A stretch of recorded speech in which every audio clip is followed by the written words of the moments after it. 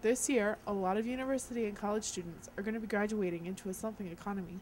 What better way to get into the workforce than to start your own business? Summer Company, a government program for students across Canada, grants youth ages 15 to 29 a chance to start their own company.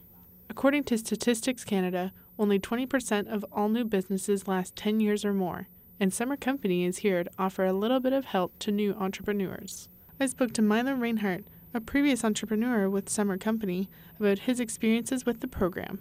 Uh, Rune Skateboards and Apparel uh, is a small business I started through the Summer Company program uh, back in 2005, I believe, way back when, uh, where I printed designs, my own designs, original designs, on garments like t-shirts, hooded sweatshirts, skateboards, and then resold those designs at concerts and venues. I'd recommend it to anyone interested in being an entrepreneur who has an idea that they want to pursue, develop into uh, any real business endeavor. It's a lot of work and starting a business isn't easy, so you have to be prepared for that side of it too. Applying for Summer Company is easy.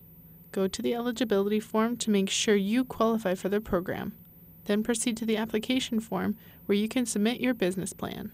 With this experience, maybe you will have people coming to your businesses for a job in the future. Amanda Hartery, Conestoga College, Kitchener.